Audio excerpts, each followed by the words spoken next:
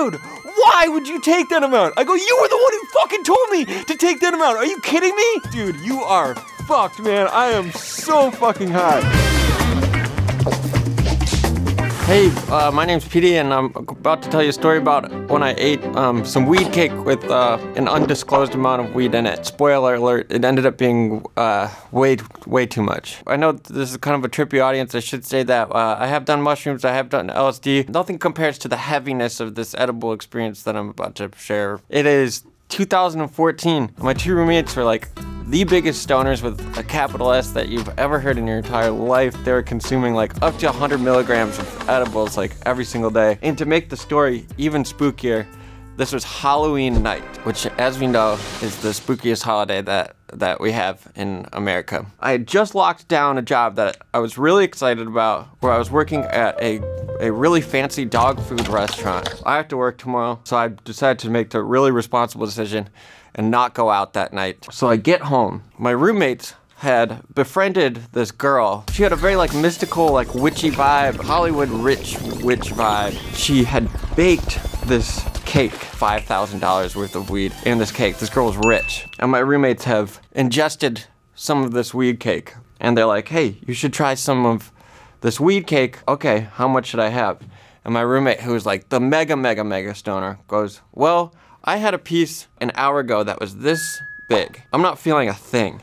So if you want to feel anything, what I would recommend is eating a piece that's three times the size of what I had.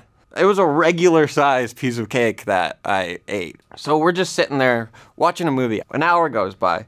I'm feeling pretty chill. Two hours go by. The movie ends. I'm talking to my roommate who is usually just like comatose on the couch.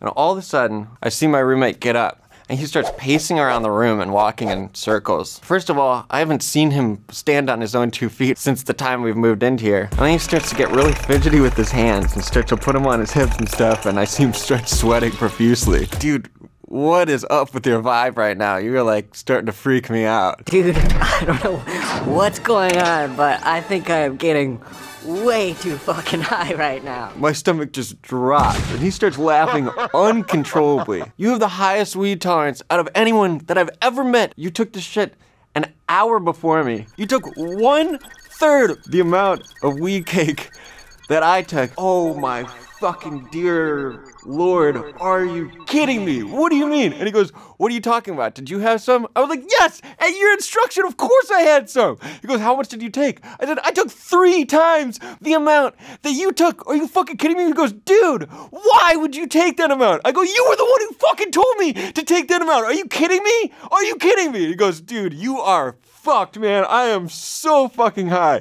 And I just immediately start going into panic mode. I am going to die. I couldn't be with anyone anymore. I went up to my bedroom. It starts raining and I'm sitting there curled up in the fetal position and sort of just rolling around like an egg. I hear the screams of the the partygoers in the distance laughing like hyenas. I hear street cats having sex. And if you if you've never heard a street cat having sex before, it's a really really terrifying experience, horrifying noise. I was hearing gunshots in the distance. I heard I heard like 13 gunshots. And all of a sudden, I start to hear these very very intimate noises coming from the wall. My neighbor was having phone sex with his girlfriend in the room next door, right next to my ear as I was trying to just drown out all the noise. He had his girlfriend on speakerphone, so I could actually hear both parties engaging in phone sex when it was some really nasty, um, nasty stuff with a lot of hyperbole going on. I was in a state where all these noises were happening in my room with me.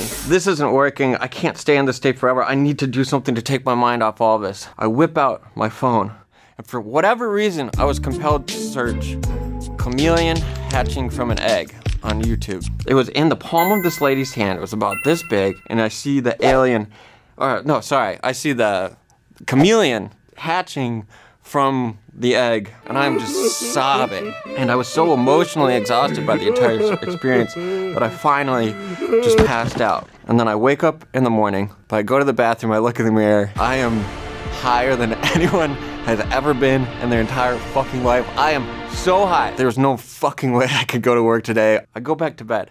I sleep for like eight hours. I wake up from that, still so fucking high. This is how I'm going to be forever. My mouth is cotton mouth. My eyes have cotton. My whole, all my organs are now cotton, and I will now have to be placed in a home for people who are also cotton people. I was high for five days. I called out of work the next two days, and that was the worst experience of my entire life.